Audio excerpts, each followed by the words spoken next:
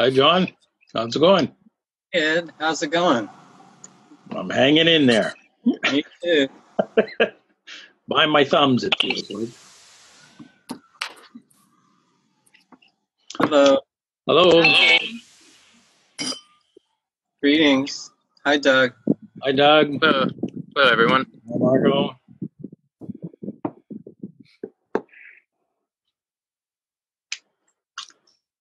Hi, Amanda.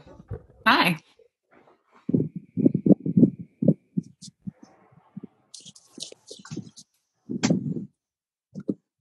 Mark was here. He said he'd be right back. Speak of the devil and up he pops.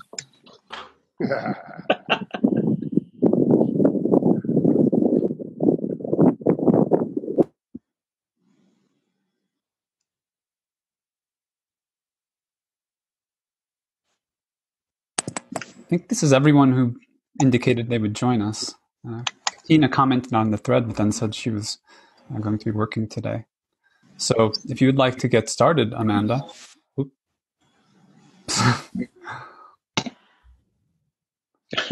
You just You scared her Welcome. By the way, can we welcome Amanda? I don't think I've met Oh yeah. That was a, that was a hell of a. A little uh, courteous. Okay. Hi, I was- Amanda. I was closing windows and then I closed this window. Oh, We, we, okay. uh, Amanda and I have spoken before, and Oh, I've, I've not met Amanda before, so welcome aboard. Thanks. Yeah, I, I just finished reading the um, suggested reading, so I'm fascinated by this topic. It's a big one, Yeah, which I'm sure you guys are used to dealing with. we are. We, we are dealing with Yeah. we're, we're dealing. Yes. It, Yeah. It's a very challenging topic. It, it seems to be getting bigger and bigger every day, as a matter of fact. Every Mm, time I visit the bookstore, I see another book that has to, that demands my attention. So I think yeah. I'm working on this. Yeah. So I had made a bunch of notes when we were originally supposed to do this a month ago. And I went to grab them this morning and I couldn't find them. So it'll be probably a little more free, free flow than I had intended, but that's good too because since it is such a big topic, sometimes questions and answers are a good way to get started. Um, but because I haven't really attended one of these, is there a typical flow or is this usually just like an open discussion or is there a usual? Well, it helps sometimes to orient us around an issue. We have some seed questions, and then we um, let a person who's, you know, like yourself, who's like sort of expert in this area or has a special interest, to, uh, you know, make a make a case for whatever she's interested in exploring and um, offering some orienting frameworks, and then we usually have like a free for all, and Right. uh, and that's where all the the fist fights break out. and some of us has to become a referee, and then we sort of settle into uh, what happens next. You know, that's my that's the way I, what I take away from these cafes. It's sort of a an open-ended conversation that keeps on going. Okay. But Um, others, doesn't others have to might come have to descriptions fisticuffs, here. I don't. I'm sorry, you have another description. That's cool. I, Marco, I didn't hear you. I oh, I just said that it doesn't have to come to fisticuffs. No. No, no, no. We, we, we can behave. well, I mean, if it comes to fisticuffs, I'll I'll probably just like nod and smile at you a lot. um. All right. Well, that said, I mean, what comes to my mind is to start off with: Are there any specific questions anybody has at this point, just so that I can kind of like get those in my mind? Um, I do have some of a, somewhat of a framework that I normally use when talking about this material, but I'm curious about what y'all are interested in. Yeah.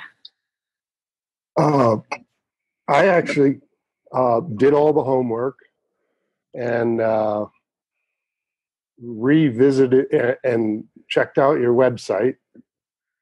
And I explored this subject topic about 10 years ago with Brian Weiss.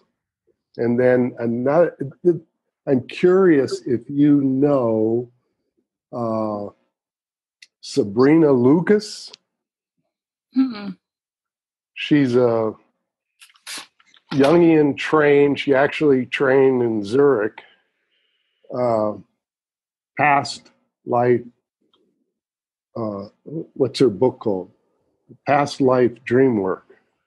Okay. So I'm not sure where you want to focus. If it's on the planetary, what's the guy's uh, the guy's name? Who, Tarnas.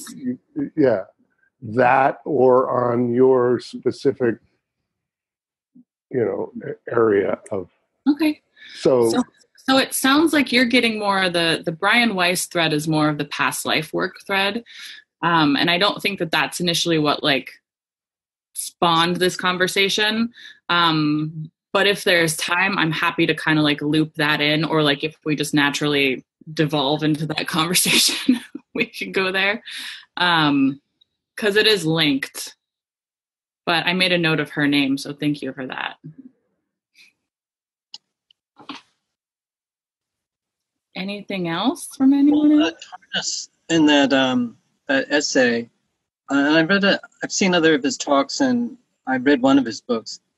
Um, I'm very interested in the um, the clash uh, between cultures, um, the magical and the mythical, and the, the current uh, scientific paradigm, which is in sort of crisis because there are different uh, deficient forms, and uh, there are efficient forms, as our uh, uh, Gebser would say, of the Mhm. rational, the mental structure. And the mental structure seems under a great deal of stress right now. And I think the the Tarnas is focusing on the postmodern trends and how um, the postmodern has opened up this uh, look at looking at the fissures and the cracks in the in the foundation of the rational, which rides upon the magical and the mythical waves, which uh, it tends to repress and forget about or uh, you know actively attack.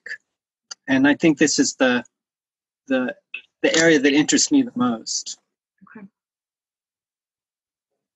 So that seems like a really good launching off point, actually. Um, because I think what I'll do is just kind of break down, give you a little bit of info just about how I understand the progression of Richard Tarnas's work and why it came about, and then we'll talk about those, you know, what he would call the two main modern paradigms, um, and then talk about the third that comes in there, um, and see what happens from there.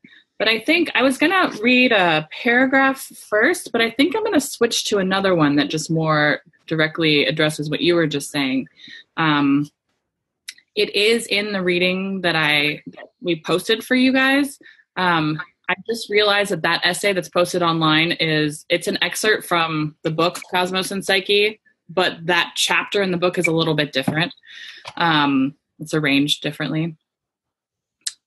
So paragraph I want to read is this. I believe that the disenchantment of the modern universe is the direct result of a simplistic epistemology and moral posture spectacularly inadequate to the depths, complexity, and grandeur of the cosmos. To assume a priori that the entire universe is ultimately a soulless void within which our multidimensional consciousness is an anomalous accident, and that purpose, meaning, conscious intelligence, moral aspiration, and spiritual depth are solely attributes of the human being reflects a long invisible inflation on the part of the modern self. And heroic hubris is still indissolubly linked, as it was in ancient Greek tra- tragedy, to the heroic fall. And then skipping forward just a little bit, what is the cure for hubristic, hubristic vision? Is it perhaps to listen, to listen more subtly, more perceptively, more deeply? Our future may well depend on the precise extent of our willingness to expand our ways of knowing. We need a larger, truer empiricism and rationalism. All right. So, just a bit about so when we're studying like Richard Tarnas's archetypal cosmology and things like that, it's the basic premise is that it's really important for us to always study context and lens. And that's true in like our personal narratives and in our cultural narratives and in history as well. And so in order to do that, you kind of have to study the evolution of human thought.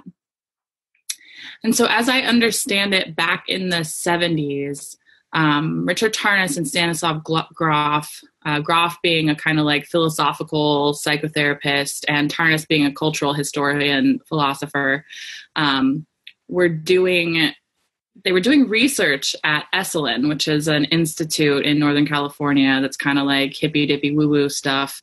Uh, but they were doing research specifically using hallucinogens, um, and they were including astrological transits in the mix. Okay, so they were just kind of seeing like they were trying to study like the reflective dynamics of astrology. Um, so this isn't the idea that like the planets are causing anything to happen but it's the idea that the planetary bo- bodies kind of reflect what's going on like like a clock reflects the time right? Like a clock doesn't cause time to happen. It's just reflecting something.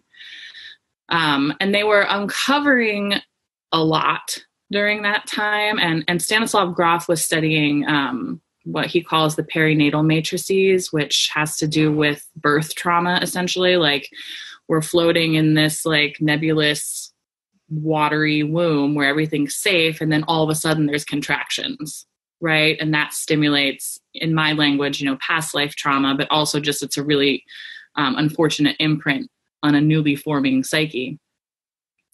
Um, so during this time, they were they were hit with some problems because psychedelics are pretty taboo and astrology is horrendously taboo right? So they knew that they were on to something with these patterns but richard tarnas knew that he would need to establish credibility before writing about astrology. Um, so he actually started writing a book called the passion of the western mind which is this one right here um, and he spent 10 years writing it and it's just an account of like the evolution of human thought through the lens of Western philosophy.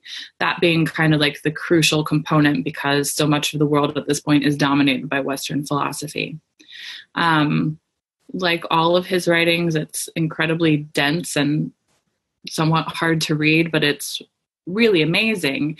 And what he was getting at there was this um, several really paradoxical principles, which is what we'll talk about in just a minute. Um, but what they lead to is this kind of like disenchantment of the modern psyche, this idea that nothing's collected, connected, um, everything kind of exists in and of itself, um, and that any attempts to ascribe meaning to the world or to one's experience is like a primitive reaction, and therefore it's not good. So he wrote that book um, somewhere along the lines, he founded the Philosophy, Cosmology, and Consciousness program at California Institute of Integral Studies. The goal of that program being to address the paradigm shift that we're going through as a culture or the collective rite of passage that we're going through. Um, and bridge disciplines. So, bridge philosophy, um, astrology, psychology, math, biology, and all of these things to try and re-enchant the cosmos, right? To try and deconstruct this notion that nothing is connected. Um, so, where Cosmos and Psyche, the book that is about astrological alignments or planetary alignments, actually, because he uses he leaves the signs out of it. Um, where that picks off, where that picks up is with this idea that um, we as humans cyclically go through these like paradigm shifts or rites of passage, and they tend to be really, really intensely uncomfortable, destructive, and oftentimes violent periods. He compares the current one that we're going through to the switch from the earth centered universe to the sun centered universe. Right. And in that process, um, which I mean, that transition took two or three hundred years and in that process, the people who were coming forward saying that was the case were, you know, burned at the stake or, you know, at best they were ridiculed and outcast from society. Right? Because so much of the foundations of thought at that point were based on the not on the notion that the earth was the center. So it threw everything off. Um, and so we are going through a similar paradigm shift at this point in time that is similarly tumultuous, although I would say probably more so because we actually have the technologies to wipe ourselves out at this point, uh, which makes the apocalyptic contents of it a little bit more concrete. Um, but the gist of it is that our culture is um, we have two we have two prominent paradigms or predominant paradigms right um, and one of them is the myth of progress right? And so that's this kind of like uh, the, the journey of like human evolution has been this epic narrative of progress where there's this like long heroic journey from dark ignorance in in the primitive world and suffering and discomfort and limitation into the brighter modern world of knowledge and freedom and free will and well-being. Um, and you know in a lot of ways this country was founded on that that's kind of like manifest destiny encapsulated and so that trajectory of human progress there is sustained by the development of reason, um, the emergence of the modern mind and modern consciousness. Uh, and so there's kind of this like onward and upward thrust in that paradigm. So it's usually like the masculine hero that's like rising above the constraints of nature. And the apex of achievement has to do with science and democracy and individualism right? And so that paradigm's kind of so close to us that it's become common sense right? It's it's filtered into all of our institutions and our ways of knowing. The second myth is the myth of the fall right? So regardless of whether or not you're you know a practicing christian the myth of the fall is inherent in our society as well. And so that's the idea that um, human history the evolution of human consciousness is is problematic. Um, it's tragic, and there's this kind of like progression of humanity's um, progression of humanity as being a, a gradual but radical fall from grace, whatever grace means in that context, right? So there's separation from the state of oneness. There's like the romanticism of primitive nature when we were all, you know, dancing on the earth as connect, collective connected tribes. Um, and it's just that kind of like in the in the primitive or primordial connect uh, condition humans had um, they had instincts right? They were connected to intuition. They were connected to cycles. Um,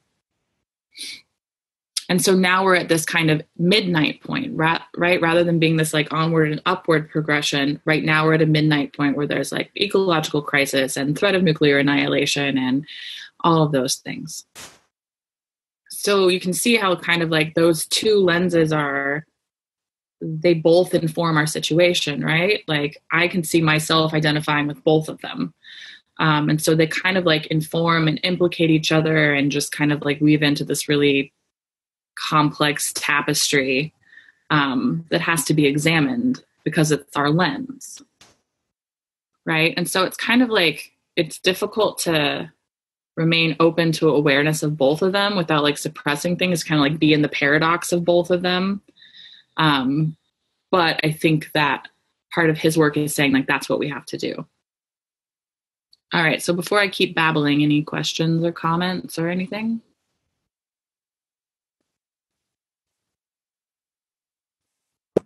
So no no questions so far. I, I appreciate the direction you're you're going right now. So it's informative. Thank you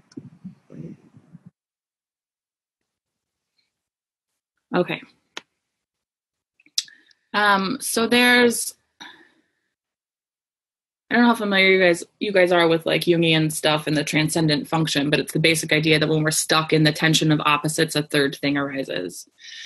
And so the third the third thing in Tarnas's work, or the third um, what's arisen from that tension is a, a third worldview or a third mythological lens that he would say is increasing in popularity, but is also far more insidious and far more um, covert, I guess, for lack of a better word.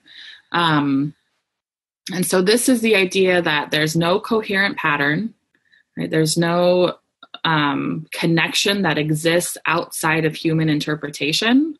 So, like everything, anytime we're looking for meaning or we find connection, it's just a function of anthropomorphizing in extremes right? And so patterns are only projected, and because they're only projected, they don't mean anything. Um, and the the pattern resides in the human subject or the human observer rather than the historical object, right? So it's all subjective. Um, and so, therefore, history is a construct. And therefore, you know, science is everything. Or therefore, if you can't see it, it's not worth looking into. And this is kind of a this is a product of the scientific revolution. Um, and that you know the the I, this is like you know Kant and um, Descartes essentially saying like yes two thirds of the human experience is consciousness and therefore subjective but we need to subject everything to the scientific method and if it can't be subjected to the scientific method then it doesn't exist we're not concerned with it because we can't concretize it. Right? And so in that process two-thirds of human experience i mean i'm using a random number here um, most of human experience doesn't count because it cannot be put into categories. Right? And it is just this kind of like nebulous thing that's floating. And so what we have now is kind of like a shadow of the enlightenment or the scientific revolution. Um, and it's like that the the skepticism that the scientific worldview encourages is important right? Like we need to be discerning. Um, we need to critically evaluate the ideas and concepts that we come across. Um, but we also need to recognize that that's another lens.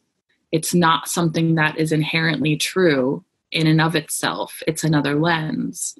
Um, and so it's interesting because this third world view recognizes that we do see things in interpretive categories and it, it recognizes that we do we are trying to like make meaning out of things right? But it, fails it fails to apply that same understanding to itself.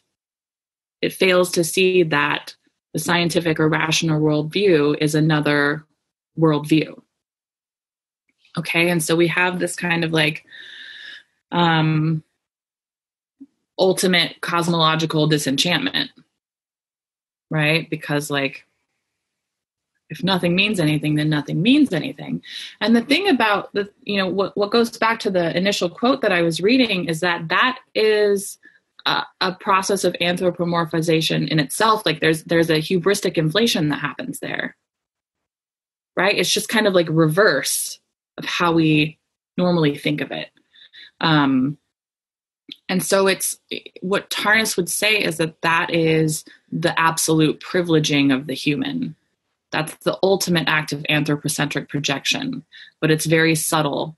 Um, and it's like, let's see here, I have something written down. Um, Perhaps the modern mind has been projecting soullessness and mindlessness on a cosmic scale, systematically filtering and eliciting all data according to its self evaluating assumptions at the very moment we believed we were cleansing our minds of distortions. Have we been living in a self produced bubble of cosmic isolation? Perhaps the very attempt to de anthropomorphize reality in such an absolute and simplistic manner is itself a supremely anthropocentric act. And so, Agreed. go ahead. I just say I agree. That Yeah. was one of my my observations.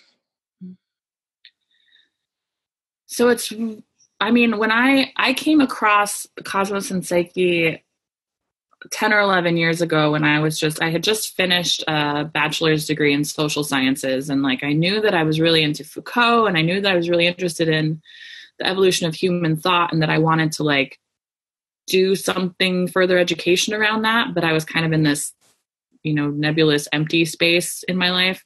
And i came across cosmos and psyche and remembered an early life love of astrology and recognized that not only was he addressing these like par- these paradigms but astrology in a way that helps us to understand collective and social movements. And i was like oh this this is the key. And then it's just been a really long strange trip since then okay questions comments?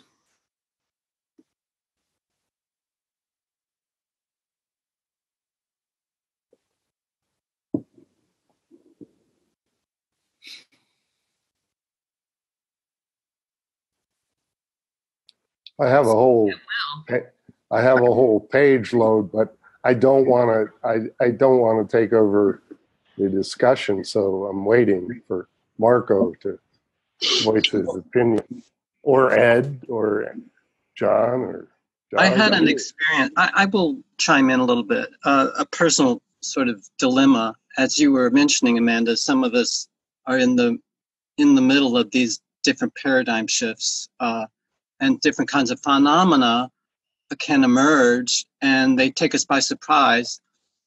Uh, some of this would be called paranormal, and um, you know, a lot of this is uninvited but some of it is may have been invited uh, but when it actually appeared we wanted to go back to where it came from. And i think this is the challenge and i think uh, it's in a, in a, in a pop culture in our movies and in uh, a lot of our, our sci-fi. Um, but i had an experience I, I, I think i was in my middle 20s and there was lots of weird things happening in my life. But i had um, i was I'd always been drawn to the tarot, and I had a I had a pack of tarot cards in a in in silk, and I would bring it out and I would do readings for my friends in a very intuitive way, and um, I did really very little study of of the cards other than just you know I, I had a background in reading Jung, so I did, was familiar with the archetypes. But basically, it was just a, a session where I would pick up on vibrations from the person and I would look at the card and the, the patterns that were emerging in the interplay of all these cards. And um, I would just make some guesses about their life circumstances. And um, something would often register very strongly. But it was very affective. Uh, it wasn't um, coming from a cerebral kind of. But anyway, I had a direct experience. I went to bed one night. I got up in the middle of the night and I had um, I was I was sitting on the edge of my bed and I was just using the high priestess, the major arcana. There's a figure of the high priestess, and um, I was just sort of contemplating that image, and I had a, a like a bolt of lightning, very kundalini kind of experience. It went up my spine. I felt a sense of uh, expanding upwards and um, ending up in a landscape that uh, was very unfamiliar to me. And there was a figure there, and uh, it was a figure in black, you know, sort of classic uh, Ingmar Bergman death figure. And it told me to go back to where I came from. And I did. And I ended up in my bed. Um, and very, very startled, to say the least. and I really didn't want that to happen again. I think I put away the tarot cards until about a, month ago. And I went on and I, I bought a new one. I bought a new pack. And I'm starting to explore it again. Um, but in this case, sometimes uh, sometimes things come to us that we we we were open to, as I was in this uh, experience with tarot, certainly in a very intuitive way, because um, I had no formal training in any of it. But it, I actually entered into something, another dimension, whatever you want to call it. But whatever I entered into, the entity that was in that other area of our psyche, perhaps, told me to go back. So I had interfered and this has happened to me many, many times, uh, unintentionally entering into these zones where I don't actually belong. And uh, some sort of threshold figure says, uh, How did you get here? And uh, maybe you should go back. Um, but some, on a few occasions, I've been invited to stay. So I have these experiences, and these are really anomalous, and they don't fit in any of the sort of current um, rational, mental structured kind of psychology, which we're, we're all familiar with in school and in most therapy. Um, but I think these are the kind of experiences that I've had that make um, make for tremendous uh, cognitive dissonance, but also it's an attractor. Because um, I want, I have this uh, sleuth in me, this detective, who is looking for, is constantly searching for evidence, and um, I want to I want to put together a compelling um, sort of case um, for how do we integrate these these kinds of odd anomalous experiences besides just pretending they didn't happen or go out and you know do something that the culture encourages like take some prozac or do something uh, take some antidepressants and pop a pill and go shopping you know just forget about it Mm-hmm.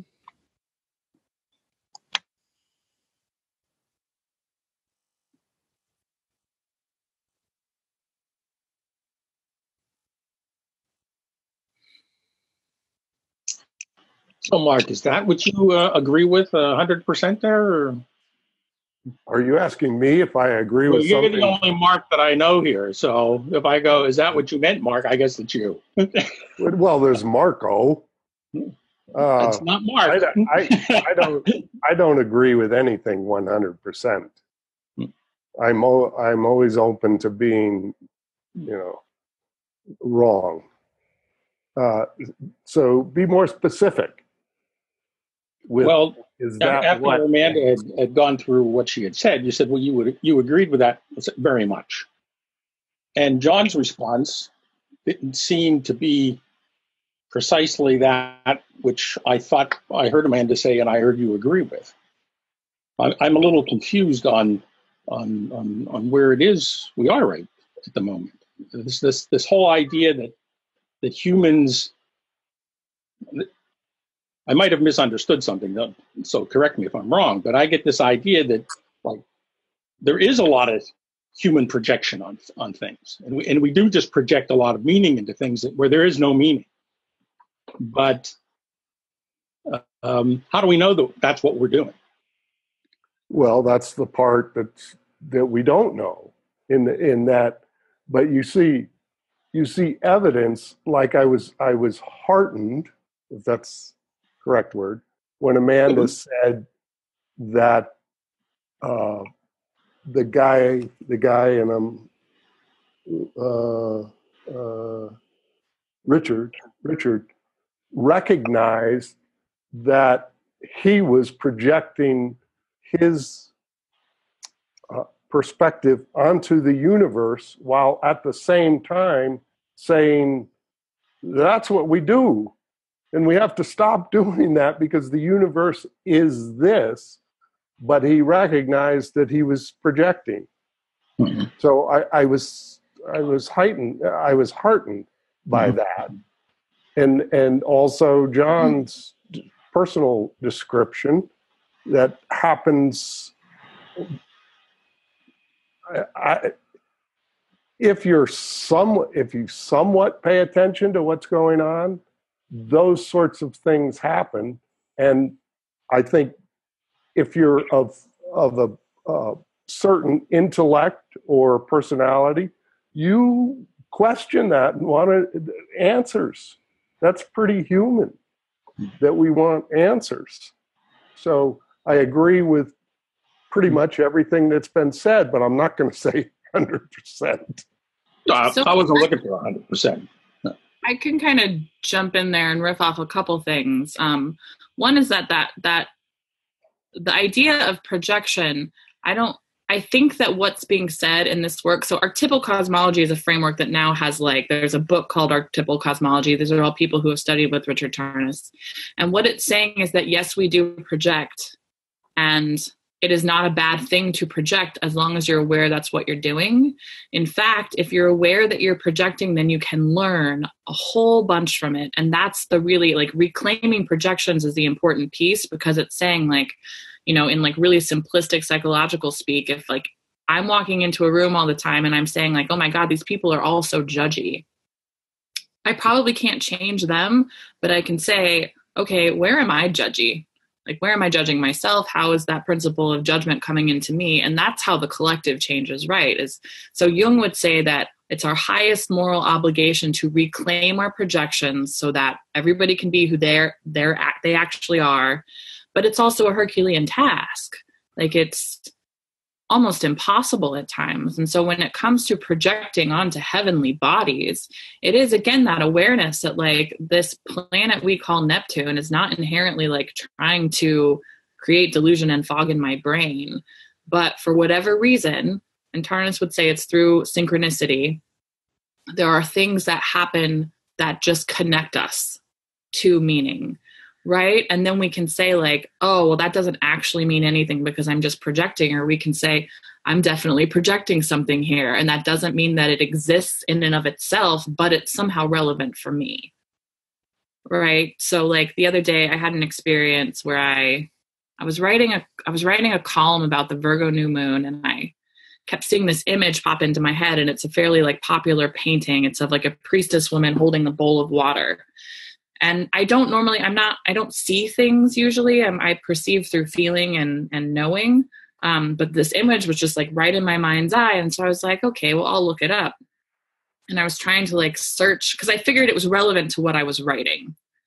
So I'm like trying to Google search like priestess with bowl, priestess with water, and it wasn't coming up, but I saw something about Isis. And I was like, oh, I work with Isis a lot. So maybe it's Isis. And then I was looking at where the asteroid Isis was in the astrological chart because I figured it would be prominent, but it wasn't.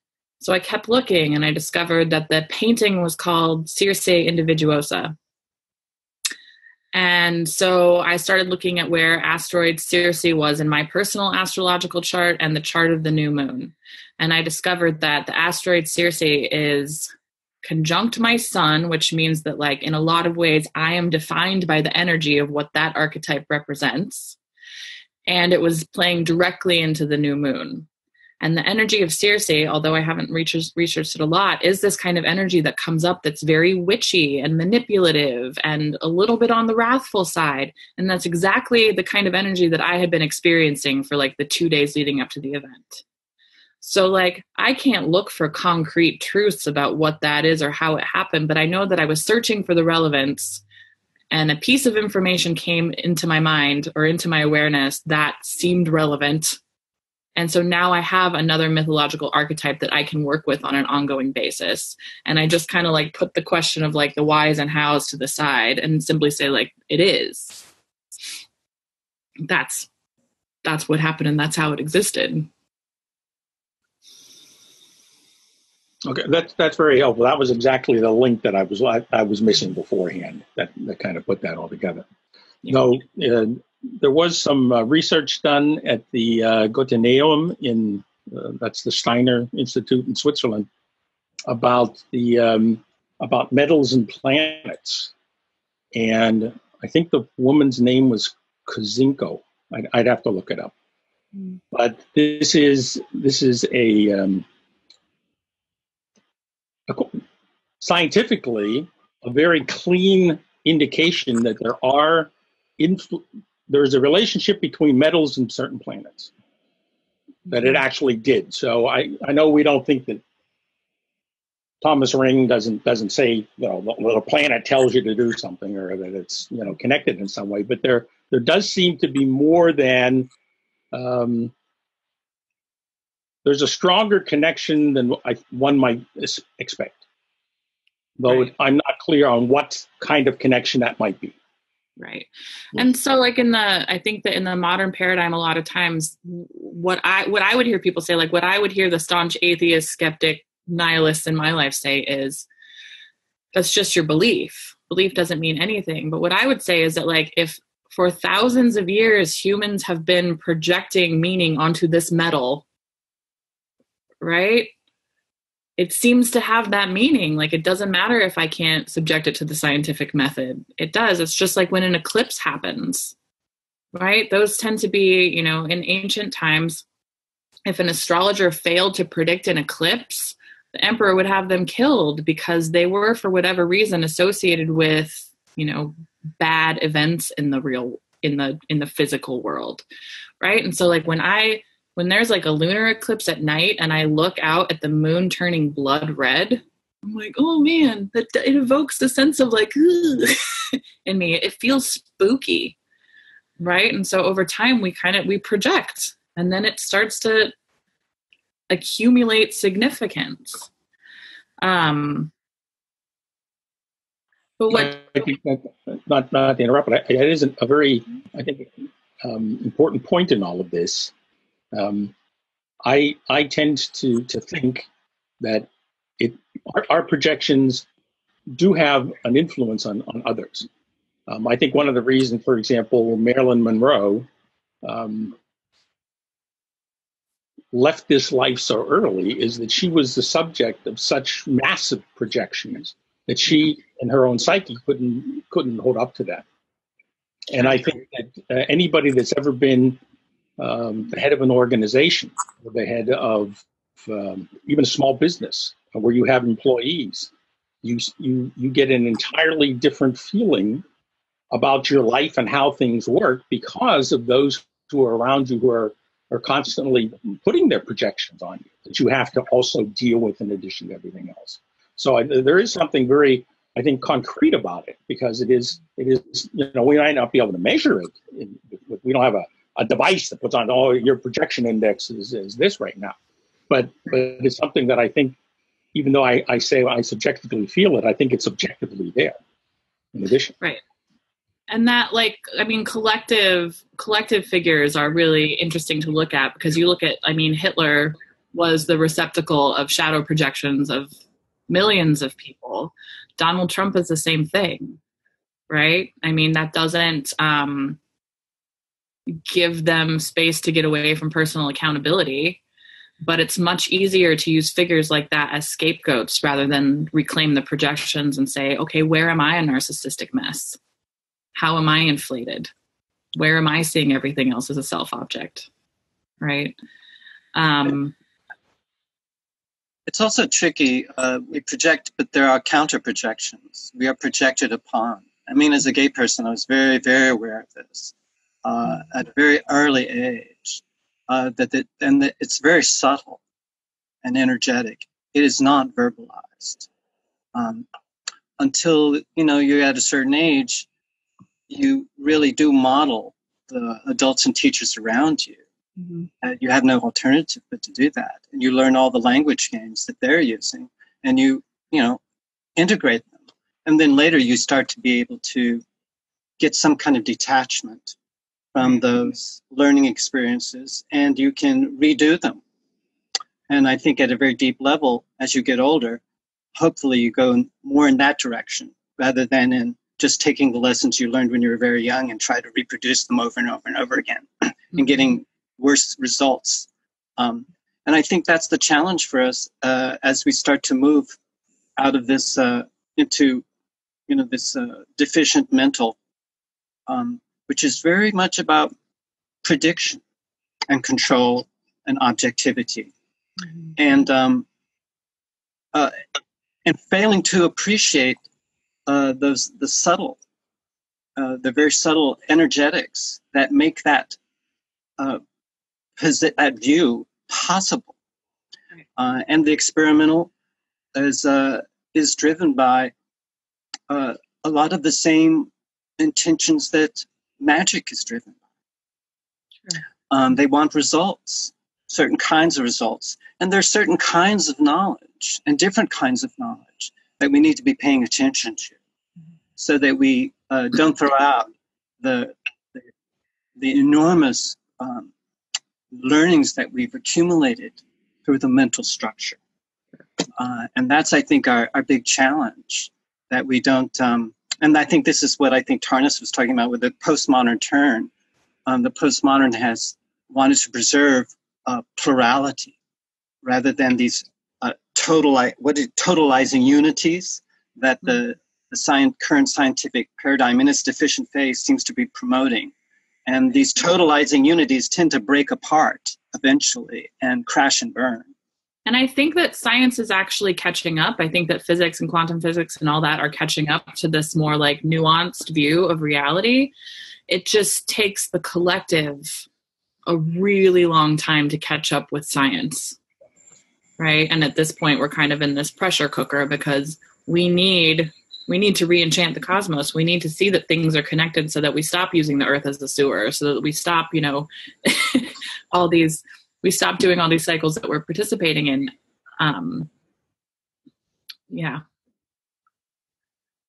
So i'm thinking about switching into talking about more concrete examples of archetypal cosmology but before i do that does anybody else have any tangents or questions? I want to point out that maybe we were there were a couple of different um, uh, axes uh, of differentiation that we were talking about here, like, because one had to do with, I think, the nature of reality, like whether reality includes subjectivity or is only objective, and subjectivity is a epiphenomena, right? And that's more of the you know scientific view.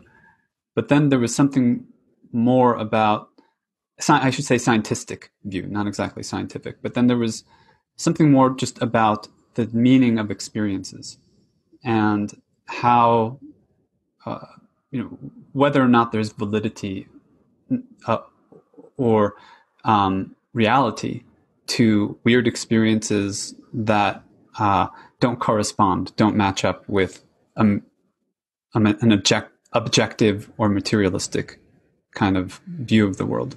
So, in other words, one part of it has to do with ontology, and the other part has to do with epistemology. Like, what is actually real? And then, what is real about how we actually know what's real? I, I hope that doesn't that's not too confusing, but it was um, like John John's examples were a little bit, I think, different than than the points you were making about like worldview. You know, like th- those were really about meanings of personal experiences, and the other had to do with what we regard as objectively real in the in the universe around us. Does that make sense? My internet connection died in the middle of that, unfortunately. So no. that's weird because the last time I spoke up, you just disappeared. And yeah, so that's weird. maybe I should just keep quiet. can, can you able to restate what you said? I'm sorry. Um, I felt like there were two different conversations going on, or like two different layers of, of conversation, and I was trying to articulate what what those were, just because I thought they might be relevant to how the discussion kind of unfolds. Um, and and like I, maybe one is that this I there's a kind of idea that Richard Tarnas is presenting that the universe, the cosmos, is ensouled. That's mm-hmm. the nature of it, and that in a materialistic scientific paradigm, it's not seen that way. It's regarded as mechanical, you know, just energy that um, somehow evolves into living forms and intelligent beings who then have all these ideas about what is real and they project that back onto that isn't just material reality. And so that's one way of looking at reality. The other conversation had more to do with our personal experiences yeah. and how we make meaning out of them that's what i was and and of course they're linked Go ahead, John. Yeah. You're not. I, dis- I disagree. Okay. I'm not talking of my personal experience is not just my personal experience. And I, I think there's. I, I, I don't want to interrupt you, John, but um, I, I guess I am. But it's just a brief statement that maybe will clarify. But it's from one of the books where we're studying, um, and the author states that science itself isn't a form of occultism that is presenting the world of matter and form as giving us something that that is like like we we don't know anything about the microscopic particles until we actually deep dive into it. And you touched on that amanda at the beginning where the worldview from or the shift from earth center to the world revolving around the sun was was a crazy idea and people were killed because of that. And people aren't being killed per se for ideas now. Um, so the scientific worldview is still in force and still discovering and diving into the quantum so a personal account maybe is is also the uncovering but the issue is that it's it's solely the individual perspective and maybe little dots here and there of other people that experience this, but there's no visual, tangible, five sense evidence of any of this. But sorry, I interrupted, John. I just wanted to add that. Well, I think we're all trying to maybe. articulate this as best we can, and it's um, we can always go back and revise, and there may be distortions and generalizations that we uh, later come to reject, and that's fine. Um, but I found myself um, articulating something that I don't think was just personal. Um, I think there's there's pre-personal, personal, and I believe in a transpersonal. And I think there's an interplay. And I think this happens in everyday life.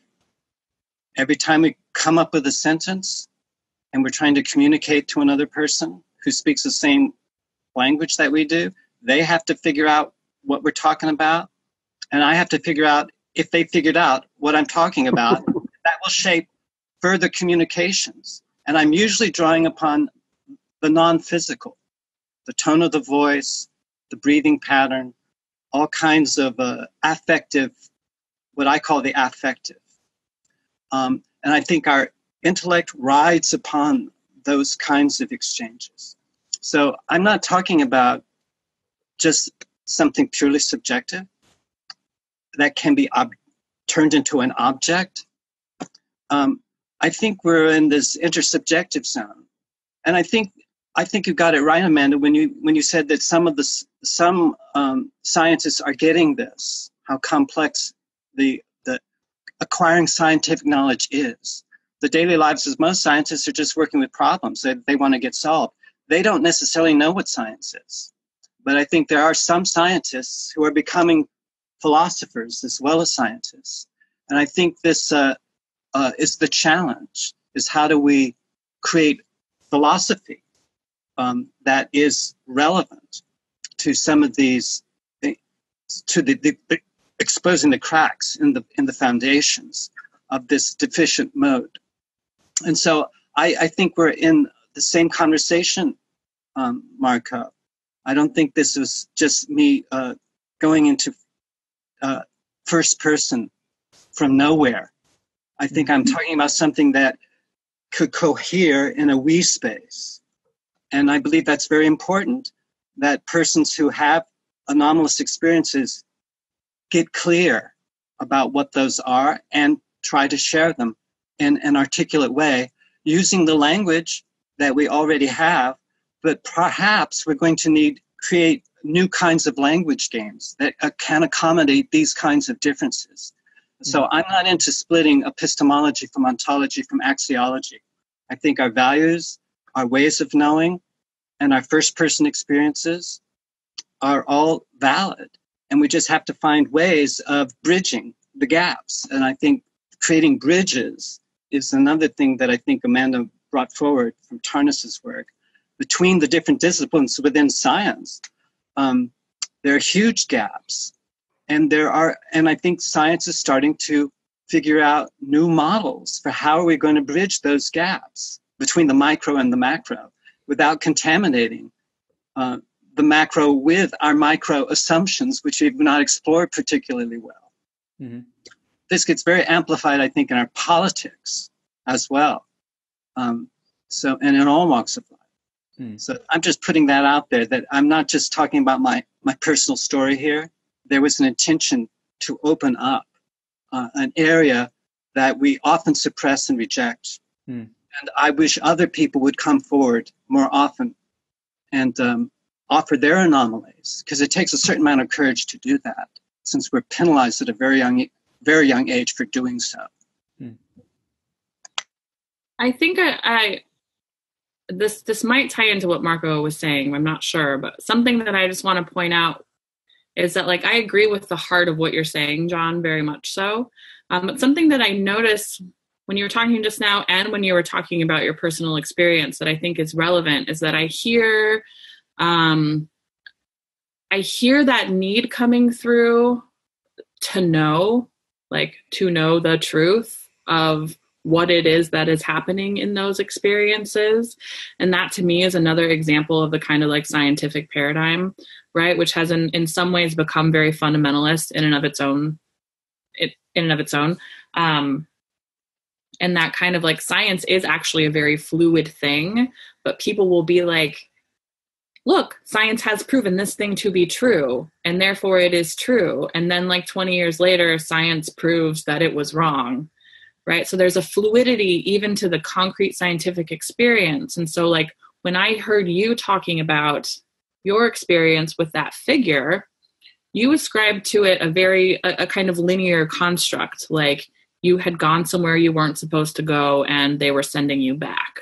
Whereas when I heard it, that's not what I thought at all. I thought it all depends on everything. Like it could be that, you know, it was one of your guides saying like you're not grounded or prepared to travel the astral realms right now but like come back try again later um and so like your interpretation of it is based still on that like linear trajectory of i'm trying to get to the concrete truth and i think that part of the you know insanity of living in these times is that there isn't a way to know concrete truth. There's a way to know our relationship to what's happening.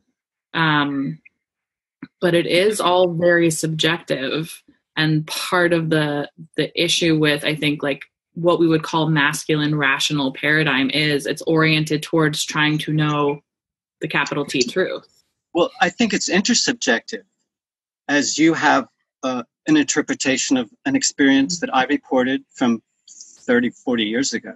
Mm-hmm. And I have different feelings about that experience. And you have different experience, uh, feelings about or, or, view, or view of my subjective report. So I think we're in the in the field of the intersubjective. Yeah. And we could tell lots of different kinds of stories. Mm-hmm. Um, but there would be, I think, aspects of the of it that's intersubjective. And we can pay attention to that. And I think when we do, we start getting um, better results than just projecting on, onto someone else and glomming onto them with our theories about them or vice versa and then just having spats about projection and counter projection, which I think which what most psychoanalysis ends up doing. Right. So I, I, believe we are starting to liberate ourselves from those kinds of, um, as you were as you were describing, those kinds of linear kind of narratives we've all been trained in. Well, that are based in like concrete, tangible reality, and that kind of that ties back into the the bigger picture with archetypal cosmology, in that um, one of the things that it's saying is that astrology as a predictive art, like predicting concrete versions of the future, is bullshit. Right? Like that seemed to work thousands of years ago when there was like a lot less options for everything and you could look at a chart and be like, oh, this person probably won't get married. Nowadays, not only is that really like, and there's still astrologers who will do things that way. But nowadays, not only is that not really like right a lot of the time, but it can be harmful because it takes people's power away. It helps them to externalize their power. And so, what astrology is good at doing, or our, typical cosmology at the collective level, is predicting spiritual, emotional, and social trends for the collective because we can look back throughout history to see when the same alignments were going on and what was happening then. It's not as good at predicting concrete reality, although it can do that too. Um, but before I travel down that rabbit hole, circling back to Marco, where are you at with your initial question? Well, I, I, I definitely didn't want to create a bifurcation between ontology and epistemology. So I appreciate that there's bridging that needs to happen and is already intrinsic between those two um, kind of modes of philosophy and also between this subjective, personal, intersubjective, collective, and the ob- objective. Um, uh, tr- or inter, you know, the, the, the real for, for lack of a better word.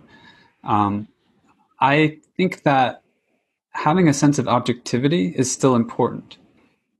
Like it's still that that even though we have personal and, and interpersonal experiences and can ascribe tell stories about them, an infinity of mm-hmm. stories, basically, no end to the possibilities of the, the images, the sounds, the meanings, etc. that that can be made.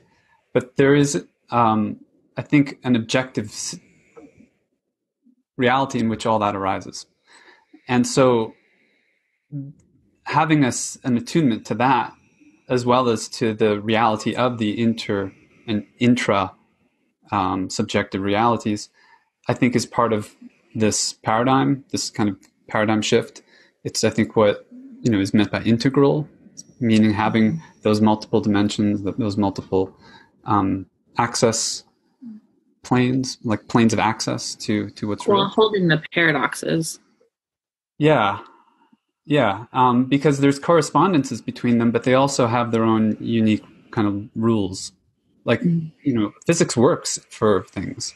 Um, we can communicate with uh, concretely with uh, machines that are on Mars, right? That takes an incredible um, knowledge of how physical reality works, and so that and that's not independent of the human and the consciousness based aspects. Uh, they're interrelated, and so I'm totally on board with that. Like ontology, I, I think that you know there are many in our pluralistic global society. There are many different um, cultural pockets, right, where it's just taken for granted that reality is subjective, or it's taken for granted that reality is objective. And there's like a multiplicity, just even of worldviews. But I think once you commit to a certain understanding, or not even commit to it, like once you um, attune with or align with a certain understanding, it almost doesn't make sense, like to see it the other way. Um, like in the sense that uh, it'll be hard to for, for me to feel that life like that reality is not alive fundamentally alive that it is dead. It just doesn't make any sense whatsoever. So it's almost just a, not, a no brainer to to choose the you know the, the paradigm that that affirms the living re- intelligence of of of the universe. I mean that it's like nonsensical. Like why would we not um, affirm that is i think you know. So so i i feel that my i would like to get to the point where um, it's more or less taken for granted that we live in a living cosmos. And on that basis what then becomes possible? Because if we're you know struggling with between materialists and you know psych, uh, panpsychists or it seems that there's less that can come out of that struggle at this point like that that we need to step forward into into the um, the reality which is obvious and start to build from there what this new you know next world wants to become. Um, that's that's like I think my my feelings about it so and they're personal and interpersonal maybe well when you see when you see the world as inherently connected or ensouled it changes the value system right? There's a there's a shift that happens when you are aware that actions have reactions. It, it just shifts the values right? I mean that's that's what i always think of is like if we if we live in a world that is not connected then we can do anything we want to the earth to the universe to each other because it doesn't matter because there's no meaning Yeah. Yeah. I think that gets to the two suitors parable.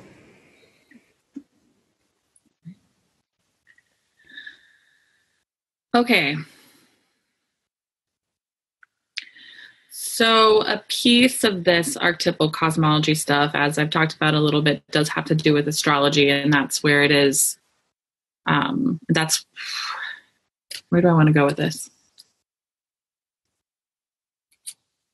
we talk about the the reflective dynamics and the um, synchronistic dynamics where tarnas starts in cosmos and psyche is with the idea that as as planetary archetypes have been discovered um, we can see the correspondence in so- social and collective movements okay so a little bit of a you know astrology lesson there are seven personal planets two of them are luminaries sun and moon and then Mercury out to Jupiter and Saturn.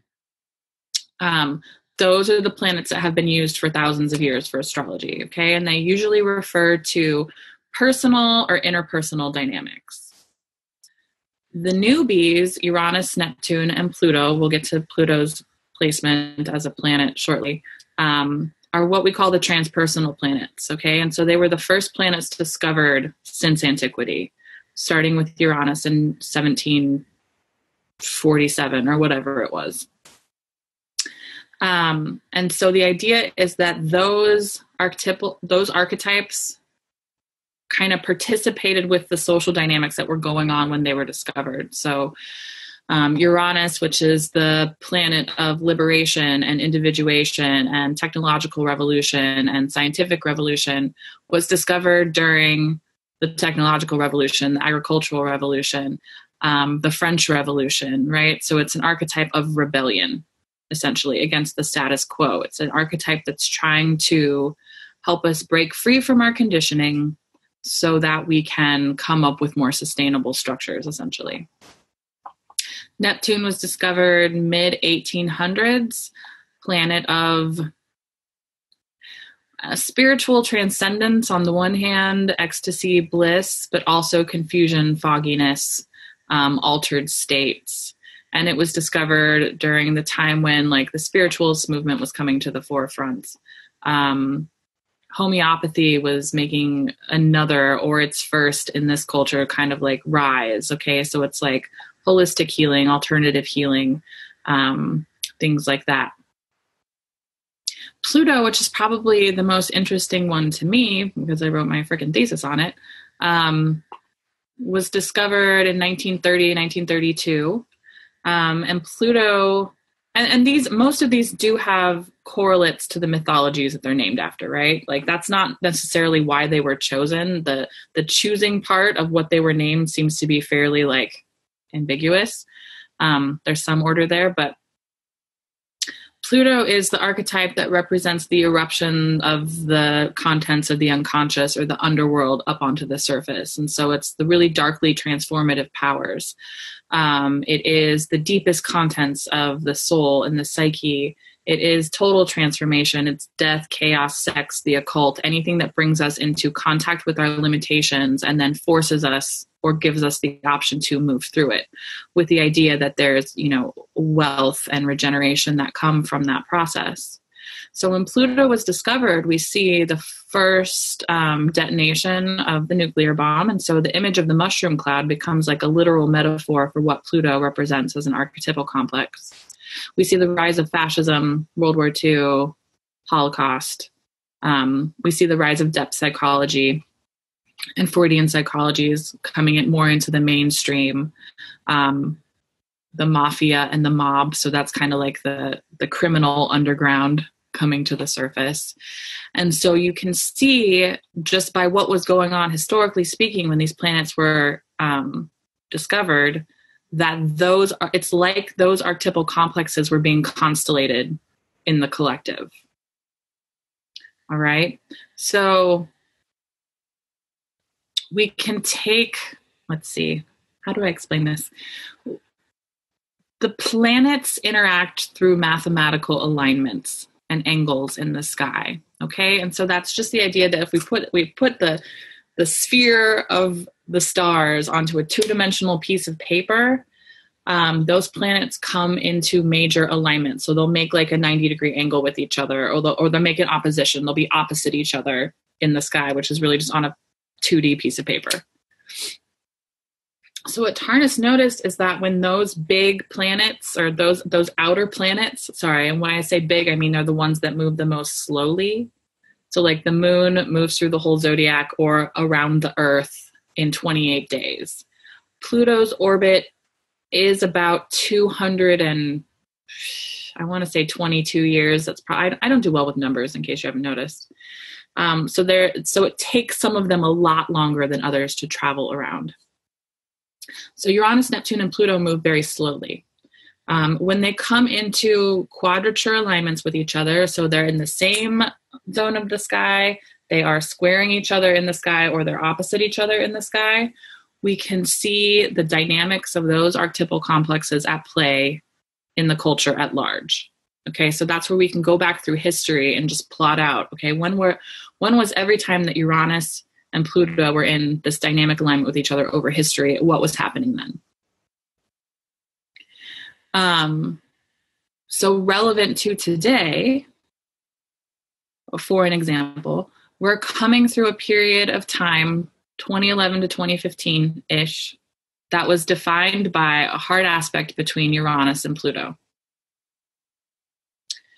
Uranus, which we can think of as like the Lord of Lightning Bolts, but more again, it's like liberation, sudden upheaval, um, shakeup of the status quo, rebellion, liberation, technological revolution, ha- was fighting with the Lord of the Underworld, Pluto. Okay, so Pluto, in this sense, can represent like the powers that be, the powers that are trying to keep control. Pluto's definitely a control mechanism. Um, it is the unconscious. It's also tied in deeply to um, earth changes, earthquakes, volcanic eruptions. So when these two planets, when they clicked into direct quadrature alignment, meaning they were at a 90 degree angle from each other in the sky, was March 11th, 2011. And on that day, we get a perfect visual metaphor for what they represent a tsunami hitting a nuclear power plant. That's, that's Marco's birthday. Oh, lovely. Um, just, just saying. Yeah. So you see there this visual metaphor for what the planetary alignments or what the planetary archetypes represent, right? Pluto, tsunami, massive power of the earth hitting technology, Uranus, and the breakdown that ensues. Now, during that time period, 2011 to 2015, we also see the Occupy movement coming to the forefront, um, increased focus on civil rights. Um, and these all echo back to when those two planets were together in the sky. And the last time that happened was 65 to 69. Right? So we see similar themes then. Um, you know, historically speaking, there was a lot going on during that time, right? But it is that same feeling of like rebellion, rebellion against the status quo and trying to break down the social structures that aren't working, and then like the backlash against that from establishment powers, right? So there was a seed that was planted in the 60s when those two planets were in conjunction that now or 2011 to 2015 we're at a crisis or a readjustment point Okay, so this is all cyclical. So, what we can see then, I mean, if we're looking at it like coming down the pike, we can be like, these are the themes that we can expect, right? Based on the archetypes themselves, but also just looking back at similar trends in history when they've been in those same alignments. What we also know is that during those periods in particular, Uranus and Pluto alignments, there tends to be such upheaval in the collective that it takes a while for integration to happen right? There's so much shaking and churning and all of that that even after the alignment is is less active or is moving out of um, direct alignment that's when everybody starts to go whoa what just happened? The other thing that's really relevant right now is that um,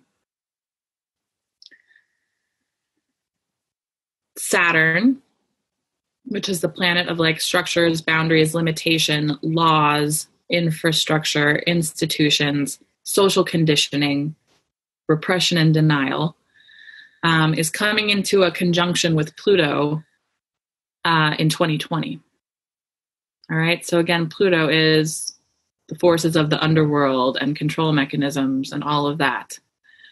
What we know is that when the last two cycles, so that let's see, I have this written down here. Um, 1913 to 16 was when Pluto and Saturn were conjunct, and that's when we saw the eruption of World War One.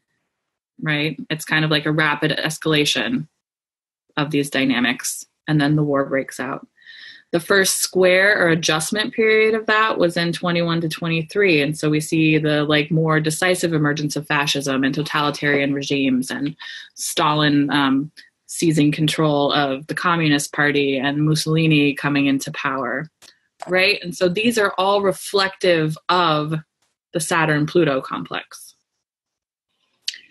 Um, that's also when hitler begins to rise And so you can just kind of track these in terms of like warfare in our country. Another thing that we see with these alignments is, um, I mean, the next one, the next conjunction was in 46 to 48. And so that was when the Cold War started, right? The establishment of the Iron Curtain. Um, we see a connection between wall building, right? So the last time Saturn was where it is right now, or two cycles ago, was when the Berlin Wall went up. And then one cycle ago was when the Berlin Wall came down. All right. So we see how there is this reflective dynamic going on. And so there is this feeling, at least in the astrological community, that big stuff will likely go down in 2020. right? Because we can see historically speaking that whenever those two forces come together, the reflection is of contraction, constriction, um, more conservative powers coming to the forefront, and things like that. are you tracking it? How's this going? This is this is great, Amanda. I have a, a question that's arising for me. Mm-hmm. Uh, I, I, don't know if this is a useful question for, for you or for the group, but um, I'm remembering a, a, professor, a student, who was he? Karl Popper. He was a philosopher of science. He said the difference between magic and science is that science, theoretical science, can be falsified, uh, and magic cannot. And I, I think that's a very provocative question that has been challenged by many scientists. Some some scientists are saying that scientific theories are not about falsification. But I'm just wondering about since we've been musing upon subjective, intersubjective, objective, and what those can possibly mean.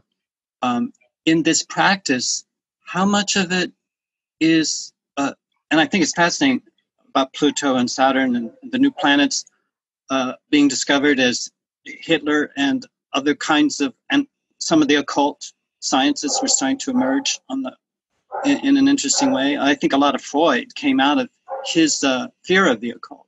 So, and and looking at these patterns and and warfare and um, these possible connections, just how much of it is objective, how much of it is intersubjective, uh, if you're working with a client and you're reading their, giving a reading or interpretate, or interpreting their horoscope, uh, I'm just wondering how that all falls out for you and how you make those kind of subtle determinations. That's a big question. I apologize. Yeah, I'm, not, I'm not sure I'm totally tracking the question.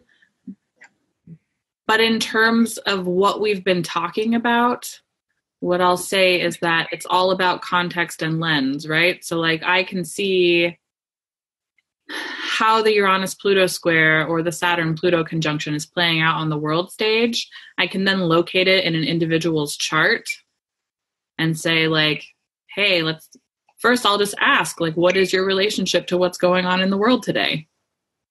Right? Because they'll say anything from like, man, I don't know what you're talking about to, oh my God, I'm up with anxiety every night and I feel like I have a role to play, but I don't know what to do. Right. So then I'm talking about the macrocosm and then saying, you know, here's how it might be specific to you and here's how it might be relevant to you. And let's talk about tools that you have for working with it. Right. Because again, we can't really like shift the collective, but we can recognize the themes that are playing out there and make them relevant to our own lives and change. So that's I don't know if your questions, but that's kind of the, that's kind of a constructing a theory for this particular person you're working with, mm-hmm. and the contact and the context and the lens is a, a product of a certain theoretical orientation as well. Mm-hmm. Um, thank you. That's very helpful.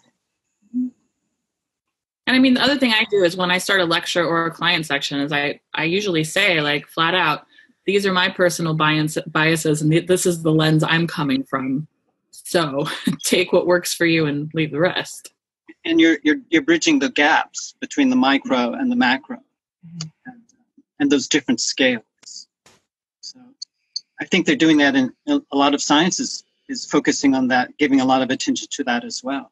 But I think it's a different kind of knowledge that's Yeah. being framed here. Thank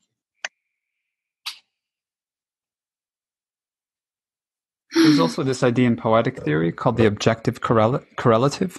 Heather Fester int- introduced me to this, but it's the idea that the images or the objects in a poem are in a way an ex- exterior correlate correlate to interior experience, and that there is no native um, you know language to the invisible realm, to the interior realm, but we find language for it in our environment, and then can compose that into into poetry. And it seems that like when you ask a client, "What's your connection to this event that's going on in the world?" The, you know, this president or this uh, this disaster, whatever it is, it's giving a one one function of that is that it's providing a language for the ineffable, right? It's it's so that you can work both with both actually simultaneously because there is that um, internal connection between our individual and intersubjective ways of experiencing and projecting meaning into events and then how the events themselves unfold because they are partly created by our projections and um, in, intentions and, and subjectivity.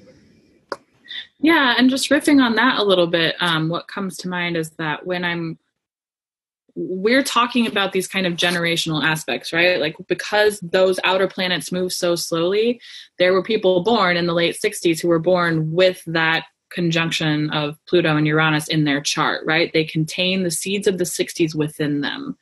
So as there's this unfolding process of their life, I can kind of track when that's being activated.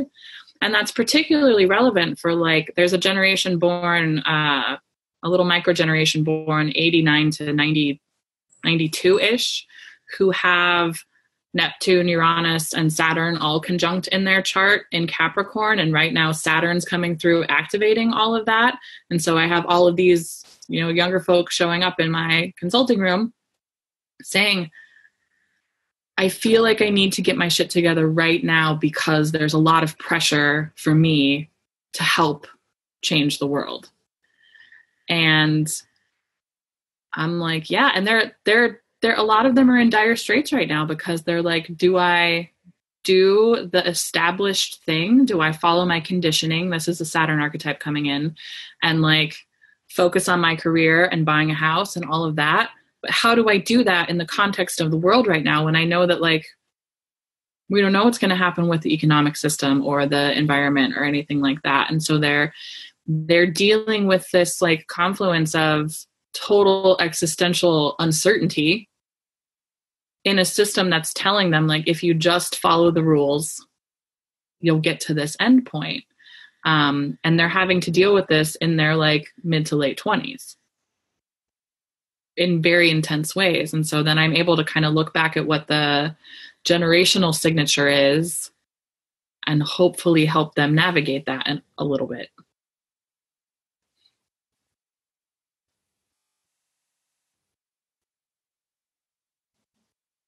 while also being able to hold space for saying like yeah it's scary stuff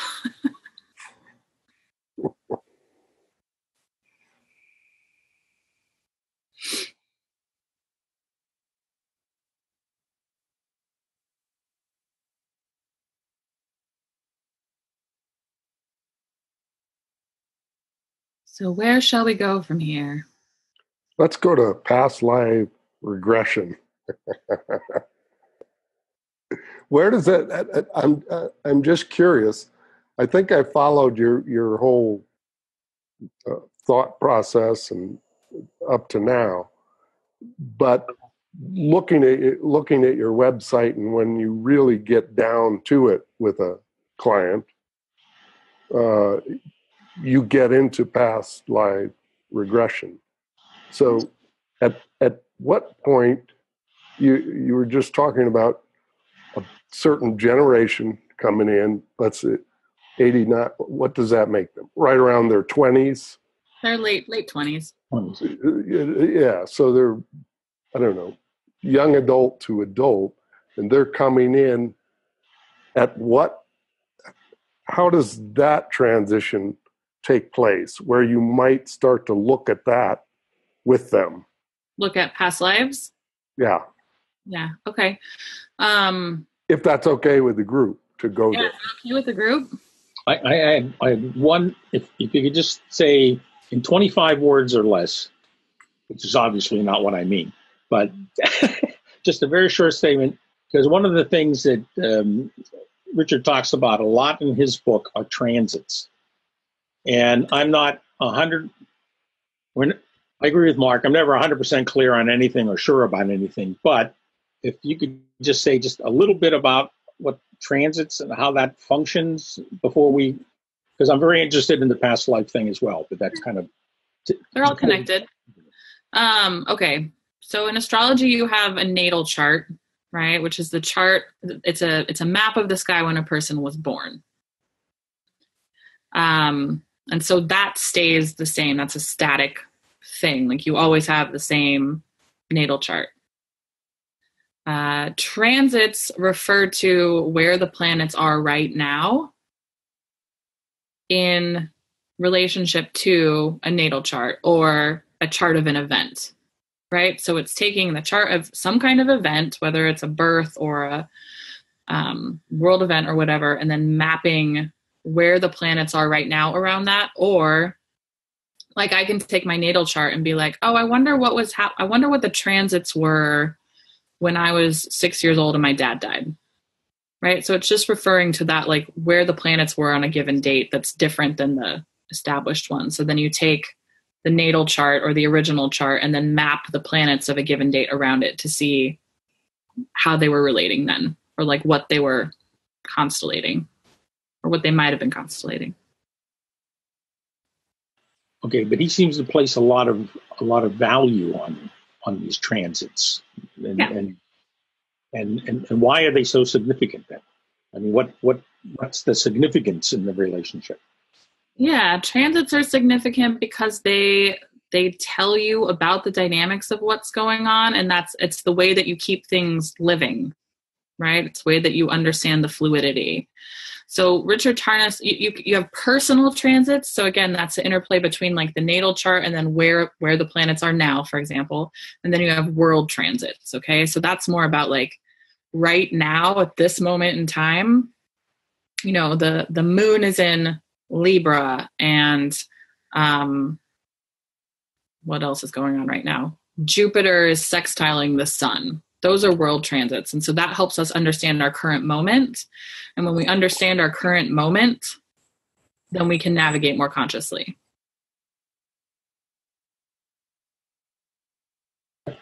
that's fine thanks we we, we, we can dive Okay. Anything else? All right. Um, past lives. So the kind of astrology, and I, and I will try to tie this into the current topic. Um, the kind of astrology that I study is called evolutionary astrology, and it's making the assumption that the natal chart, so the map of the sky when a person was born, is not only telling us about some of the traits of the person and the themes of the person's life, but it's telling us about their karmic dynamics and what their soul has been intending to work through and live through in multiple lifetimes. So it's taking the idea that, you know, many, a vast many of the world's spiritual traditions have, which is that we do return. There is eternal return. Like that mythology is even um, inherent in the Christian religion. It's just been kind of distorted and taken out in a lot of ways. Um, and the reason that it is, I think, particularly powerful for people who gravitate towards evolutionary astrology is because it is somewhat trauma focused. And so it's the idea that there are some traumas that survive the trauma of death. Okay. And so this is part of why the Tibetans put such a focus on dying consciously. Uh, because if we die consciously and we have lessons in how to navigate the afterlife states, then our karma is not as heavy because it's the difference between kind of like transitioning into the afterlife consciousness kind of like separates out and then like looks down and says, "Okay, I'm dead now and I know what to do." Right? Like I know to follow the clear blue light. I know to go to this place and there's a whole process that happens there. Most of us die quite unconsciously without any concept of how to navigate afterlife states, what the afterlife states might be. Um, and we die oftentimes in trauma. Um, so some people would say that like, oh, like dying in your sleep must be so great, but my work shows me that not necessarily because there's a lot of confusion that happens. And so the death happens, soul or spirit or consciousness, whatever you want to call it, transitions out of the body and doesn't know where it is, what's going on, and has scripts in its mind that are lingering from the life. So I always have to do it alone, or oh God, they're going to get me, or you know, I never have enough, whatever, whatever it might be. So they start kind of like running through what the Tibetans would call the Bardo states. Those scripts, psychological complexes or traumas, become the demons that chase them through those states. And then the soul jumps into the first cave to hide, and that ends up being the next womb, and they're born with those same scripts. So evolutionary astrology uses a chart as a way of understanding the scripts or the karmic patterns um, that the soul comes in with. And so it takes away the idea of the tabula rasa, like we're not a blank slate, no one's a blank slate, we all come in with stuff. We can break that down to the energetic levels too, which is essentially that trauma trauma gets lodged in the different energy bodies, emotional, spiritual, mental, all of that, but I think I'm going to put that off to the side for now. Um and so when I'm looking at a chart, I'm looking at Pluto, which in the chart represents the soul, um, in short. And it's no coincidence that our culture has demoted Pluto, demoted the soul, right? There's a resonance there. Um, and Pluto helps me to understand what the soul has been living through, what the deepest compulsions are, what the deepest emotional and psychological wounds are. Um, and Pluto is a generational signature. So, like I was saying earlier, it travels very slowly through the signs of the zodiac, although its orbit is elliptical. So, it spends like a really long time in Cancer and Leo. Those are the zones of the sky. Um, and a very short time, relatively speaking, in Scorpio and Sagittarius. Um, so those are like little generations, right? So like when I get a person who comes in to see me, the first thing I look at is what's going on Pluto in their chart, and that tells me kind of like what their generational associations are, and then I understand like what those generations are trying to work through. Okay, and so it is a good way to help understand what karmic patterns are. And if I take the karma out of that, it's just like the really deeply entrenched patterns that we go back to that are really hard to get to move because even if they're painful, we tend to just go back to them because they're comfortable and they're what we know. And it's really usually a long process to unravel and shift karma. So when somebody comes in to see me for an astrology session, I'm not focused on like, oh, this was your past life and this is what happened and yada yada yada. I usually will if if past life, like specific past life stories come up, it's usually in the in the sense of like I'm telling a um a true story with made up facts. And that's because stories get to the heart of an emotional complex and people relate to stories. And so I will say, you know, it's something like lifetimes where you have been enslaved in your relationships okay, we can look at history and say, like, yeah, marriage has been enslavement for a lot of people for a very long time, right? So it's a resonant story. And then I'm using details of the chart to kind of fill in the details. So in an astrological session, my goal is to help use those stories in order to get to the heart of a of a karmic complex um, without getting a person to start fixating on what their past lives were because this life's way more important and people can get compulsively addicted to like well in my past life i was da da da da da. And i'm like okay it's helpful as a tool sometimes. Um, so then for people who are really struggling with complexes fears phobias chronic uh, chronic ailments that aren't budging with conventional therapy treatment or whatever i'll be like okay let's do some regression work with the idea there being that we can go into the lifetime where the person sustained traumas and injuries that have impacted them enough that it carries forward. Um, and do healing around that in terms of like catharsis really. So emotional catharsis physical catharsis you know get the attacker off get the noose off the neck um, bring back the parts that have disassociated. So it's it's like shamanic soul retrieval but in a more multi-dimensional sense. That's the nutshell version.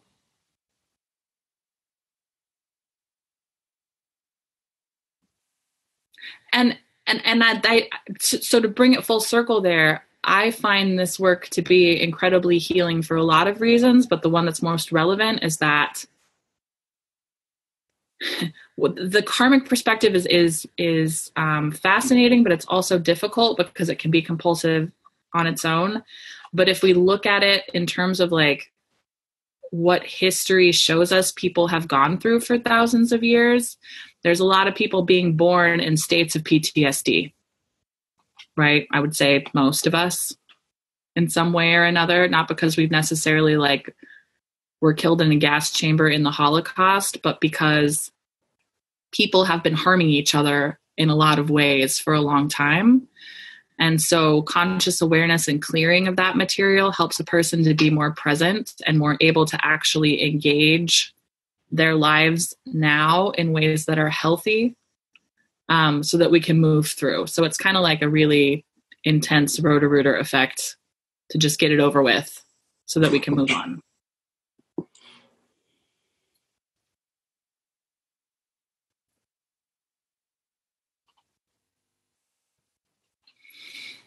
That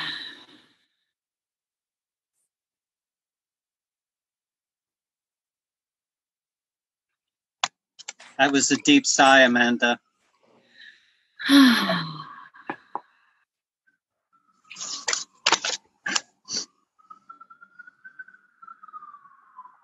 Questions, comments. Part of the deep sigh is because in like an hour i have i part of my health issues is that i had a cancer scare last year and i have to i'm having issues come up now so i have to go in and get a screen in like two hours.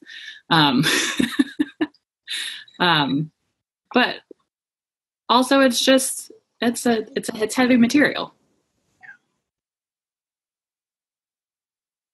Thank you very much. It's fascinating. Yeah.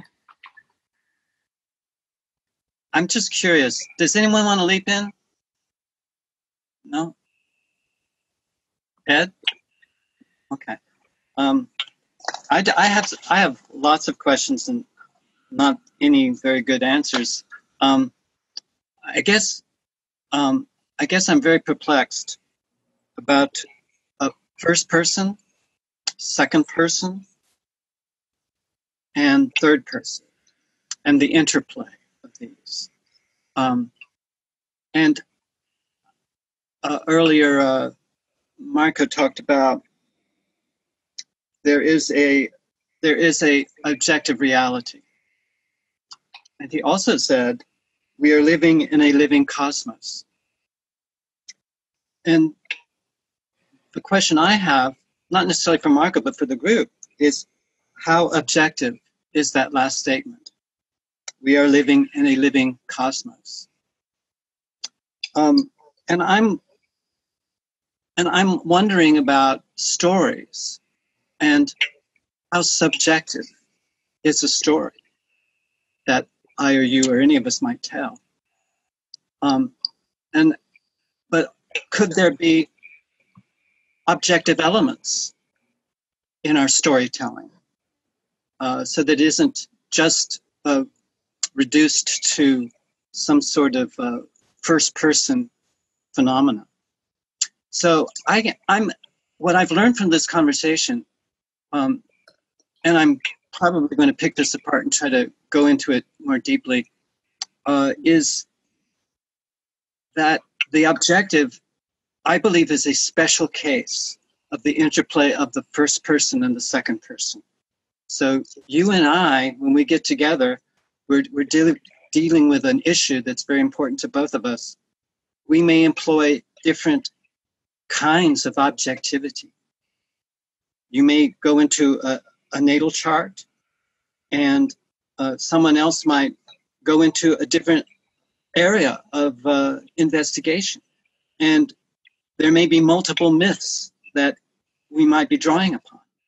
But we can, I think, if we're sensitive to the lenses that we're using, bring all of that knowledge and potential knowledge to our investigation rather than rely upon subordinating an objective knowledge or having all other kinds of knowledge subordinated to that scientific objective knowledge. That there are other kinds of knowledges that we can pay exquisite attention to and bring to the table. So I'm hoping that we can move from a question like I was asking of the statement that was made earlier by Marco. Um, are we living in a living cosmos? How objective is that statement? Is it a little bit objective? Very objective? Not objective at all? Um, because if enough of us share that, uh, then it's not necessarily just Marco's subjective opinion for the day. Uh, so I'm sort of looking at how we're going to bring together all of the, these different kinds of uh, systems of knowledge and bridge those gaps. I think it's a, a, a huge effort that we're trying to make to even art- articulate this kind of stuff. But as you were uh, exploring with us uh, the, your methodology, Amanda, I recall that uh, as a beginning Tarot, student of Tarot, that um, I was, uh, I think, tapping into some something that was very real that was happening between me and persons that I was sharing my interest in tarot with. Um, but I don't know that how much of it could be objectively real. Maybe a little bit, maybe a lot, maybe not at all. And it's very fluid.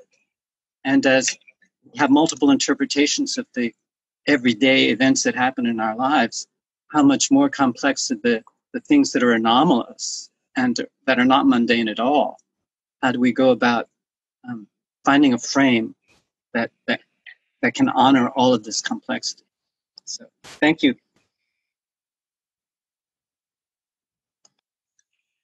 I think I'm going to let somebody else jump in with that one because I need to get some water. So I'm going to take you guys off video really quick.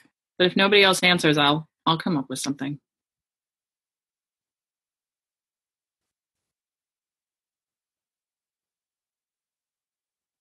So I missed a little section in there from the point that Amanda was discussing, I guess the 2020 catastrophes or bigness that could arise. And then I zoned out, my connection zoned out. And then I jumped right into something I was very interested in with um, the Bardo states.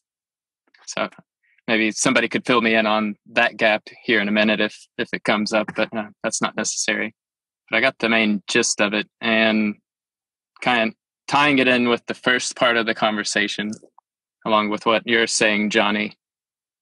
It it seems like we're always on this mission, whether we want to or not, want to be or not, to make the implicit explicit, and even even that which cannot be objectified. Um, there's something in us that desires to have that interconnection with with the interpersonal realm to make it the implicit explicit in some way even if it's just a connecting bond. Um, so that's just a comment perhaps a question i have but i don't know what the question is there. Just filling in the gaps here. Somebody else can join in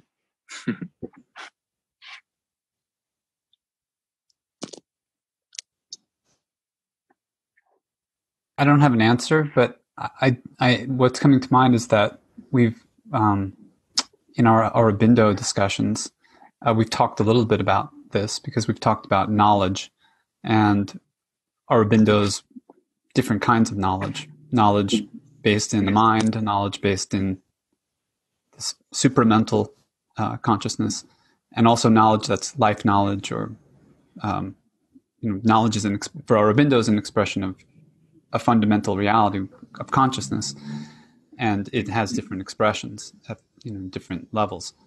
Um, but there's a fellow in those talks, Fred, who has been making the argument or the point in a couple of different topics around the necess- the importance of having some objective uh, basis for knowledge claims, and um, even making the argument for the importance of, or at least su- suggesting books that that make the argument for the importance of having an absolute um, to count to to uh, provide sort of an complement to the relative multiplicity, uh, the subjective. Like that, that we're to say that something is true or real, it can't just be because of personal opinion, nor even of interpersonal, even though we know that the personal and interpersonal shape what we regard to be objectively true. But still, even if that's the case, we need to to, and this is this is I'm reconstructing a philosophical argument that Fred is making. So I may not do this perfectly, but I just want to presence it because it's in the wider space. But his point, as I understand it, is that we still have to have um, a pole uh, in our understanding of reality for the objective because it needs to be a kind of um, orienting uh, um, don't know the, the, language is tough on this, but a sort of orienting orienting um, location around which we can organize our intersubjective discussions. Like if we're not talking about the same thing, if if if we're completely talking about different things, and other groups with other intersubjective fields could be referring to something completely different, then there is no where to ground our um, our claims or our expressions. So you you may read somebody's chart in a certain way, but then can somebody else come and say, not that you know your whole mode of of relating to knowledge is wrong, but can they question, well, maybe we could interpret this transit in this other way, and could they be relatively more right than an interpretation that you might have first given? And if they could be, then you know what is that on the basis of? It has to be some objectivity that you can both recognize or others can recognize is a more ad, is a more valid, more adequate interpretation of the evidence that presents itself in this person's you know story, their emotions, whatever. Does that? I think that I'm trying to kind of maybe uh, I don't have an answer, but it's it's meant to presence just the other perspective that's come up. yeah, I mean, discussions about like objective reality are not they're not my forte. Um, I choose to just opt out of them for the most part because they're maddening to me. Um, when it comes to astrology, it is not objective. Um, it can be objective in hindsight. like if somebody comes in and says, like, I think that this transit will look like this, and then another astrologer says, no, I think it will look like this, like time will tell. Um, and so in that sense it's good as like a teaching tool in some ways like uh, studying astrology and like the past or astrology and like concrete personalities like uh, public figures can bring some objectivity into it. I think where objectivity plays into astrology itself is saying like we don't objectively know. That's the only objectivity that there is with astrology although i might think about this later and change my mind um and for sure like i i've been working with my own chart for a very long time and i get readings every single year and i always learn something new or a signature changes and shifts or my understanding of it does. But what i'm really thinking of when you're when you're saying all these things is more along the lines of um like societal structures and governance in terms of objective truth. So like I've been thinking a lot about how I don't think there can be one overarching spiritual system that like helps to unite the whole world. I don't think that that's realistic. And and if I break that down, it's because we have different relationships to each other versus, versus uh, based on cultural norms, or we have different relationships based on the land that we live on and the agriculture that it supports and the the trees and plants and all of that. And so, an objective truth here in Seattle would be I cannot make it through a winter without dry Like I have to have shelter to keep me out of the rain, otherwise my body will wither and die, right? Objective truth. Or like taking it to a more extreme, somebody who lives in the Arctic Circle, they cannot live without fur lined clothing, right? Whereas that objective truth it's not true for somebody who lives somewhere else. Um, and so then I think of like, you know, crises facing the earth right now. And my partner and I have this conversation all the time because he thinks that globalism is the answer. Right. And I'm like, no, globalism's bullshit because it you can't like it has to be based on like the little microcosm of where you're living because there's all these different variables. Um, but I also hear what you're saying in, in terms of the way that objectivity helps us to orient to our experience, right? There has to be some kind of like core mechanism that is holding us down as we like hurtle through space at millions of miles an hour on a ball that's somehow like holding us in. Um, and what I think about there is more the way that the ego functions, like the ego as a structure of the psyche which is not like the central it's not the central function. It's not supposed to be. We have so many parts to our psyches but the ego is the part that helps us to like orient to our experiences by giving us an identity structure. So like i am amanda. I am an astrologer. I am the daughter of susan and this helps me to orient to my experience by giving me something that is like a core truth of myself the issue there being that ego identity is also open to changing, right? So then I wonder about things. I don't know if things can be objectively true indefinitely. Um, and I also accept that I'll never know, probably, unless I do. I don't know.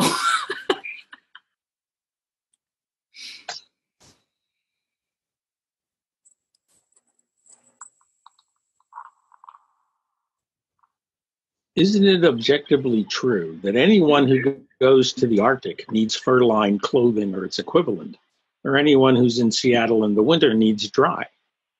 Because the same will happen to all of us who are in any of those situations at any one time. There's a, to me, there's a certain constancy to all of that. There's a there's a coherence.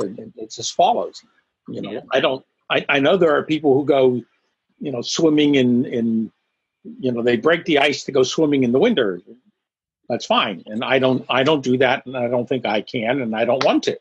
But if i'm going to spend any time someplace then i have to if i'm going to spend some time in the equatorial regions then i need cool. That that's just going to be there. That, that's just part of the deal. And to me that's that's an objective reality that must be dealt with regardless of when I was born, I was where my planets are aligned or whatnot. There are just some physical constraints that, that show up. And I think I think they're sometimes helpful places to start thinking it and reflecting upon how, how we understand ourselves and the world around us.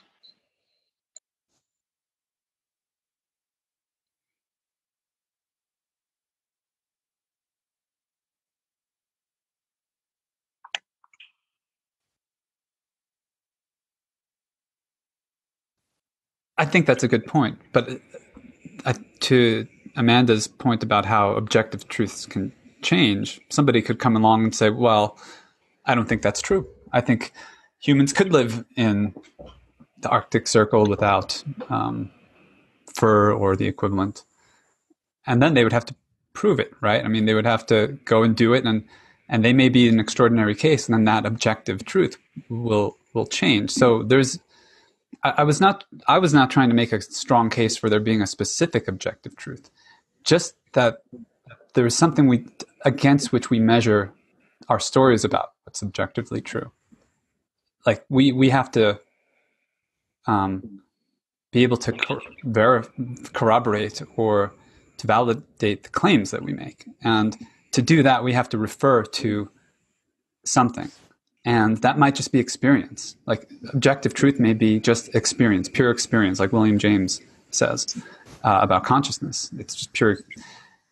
But nonetheless, that is the measure. That is the, the reference point. And maybe the reference point changes or how we talk about it changes. But um, I think I'm trying to argue against the implicit solipsism, and that would be entailed if truth were purely a function of s- subjectivity, and specifically the the particular articulations of, of subjectivity or intersubjectivity that we, we may want to come up with. But at the cosmic, then at the cosmic level, like Aurobindo, with supermind sort of projecting itself through overmind, higher mind, illumine mind into into physical reality through this.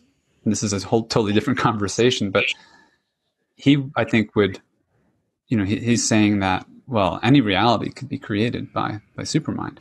Um, but we don't experience ourselves, or we may not experience ourselves as supermind because we identify with derivative um, aspects of the one true, you know, reality. So that just is. That, I think that's a bit afield from from from this. I'm I'm reminded of um, Eddington. I think he was an astronomer, but he was talking about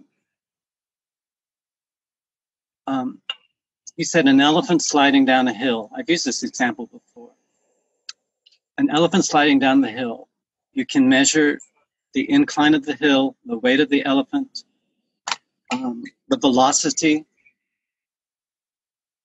but that fails to capture the poetry of an elephant sliding down a hill. Hmm. So I think there are different truths that Eddington was pointing to. And and those are all marvelous that we can gather objective data. But even the objective data that we gather is not totally objective. Someone had to come along and make that an important thing to do. And I think that's the why I'm, and you mentioned earlier objective correlative um, theory of poetry. That actually comes from T.S. Eliot. He talked about the objective correlative and wrote a lot of poetic theories around the objective correlative. Later in his life, he was asked about that, and he said he had no idea what he was talking about when he used objective correlative. Um, so he had sort of changed in his poetic career about vocabulary that he used previously. So I'm just saying we have different kinds of truth, and when we subordinate one kind of truth and make another truth um, better than or more important than, we end up, I think, um, missing the point to a lot of our experience, like the poetry of an elephant sliding down a hill. So uh, I believe we're all coming from uh, these kinds of different kinds of myths and stories, and um, you know, Buddhist, Christian, Hindu, and we're uh, in the clash of these different myths. I believe the rational mind has emerged out of. And the Greeks were the first to notice because they were seafaring people and traveled all over the world. Hey, this group of people has this myth. This group of people has this myth. We have this myth. Which myth is the right myth? And then all of a sudden, the rational mind started to emerge because of these clashes. And um, I believe we're still in the midst of that. And I think it's ongoing, part of our lived experience. I think we can do it better than we're doing now, though. We can always get better.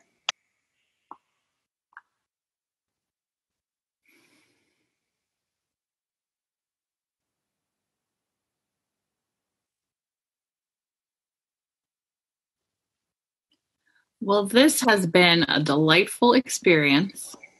I don't know how long you guys normally go, but I need to wrap up in the next couple minutes. Um,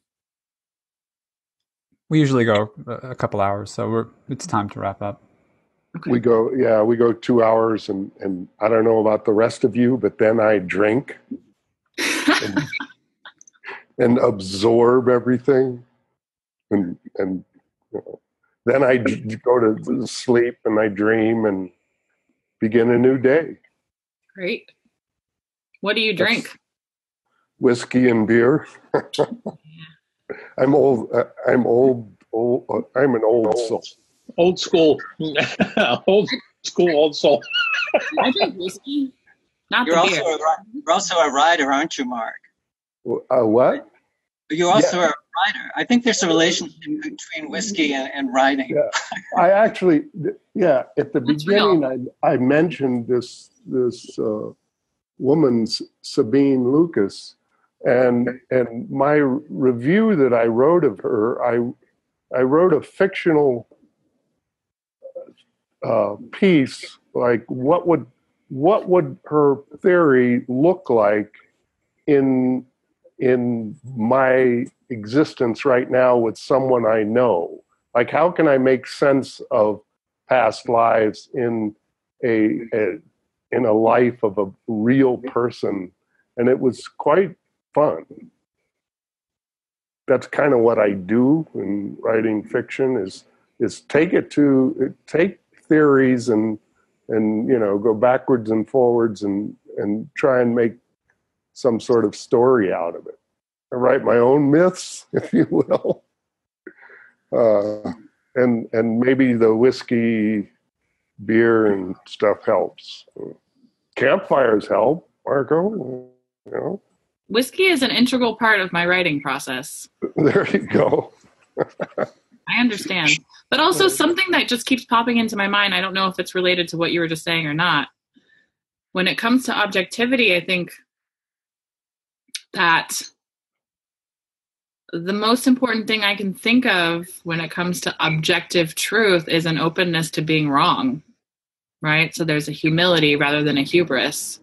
That seems really important um, that our culture seems to be lacking because we're so afraid of humiliation, right? Which is the extreme end. Absolutely, of, absolutely, absolutely. Well, we're afraid of being humiliated, but we're also afraid of the chaos that results when objective truth doesn't hold. You know, we didn't talk uh, about the two suitors, but I think that if we were to do a part two at some point, uh, we could go into the the dynamics of of that. Oh, I think we were we were talking about that, but yes, we can do a part two. I, th- I think we've all got uh, two suitors within us, uh, and I think we each of us has been um, presenting that, perhaps performing it in this conversation. Um, I think that's sort of what our, our, our epistemological shadow is all about. Hey, I'm polyamorous. I have more than two suitors.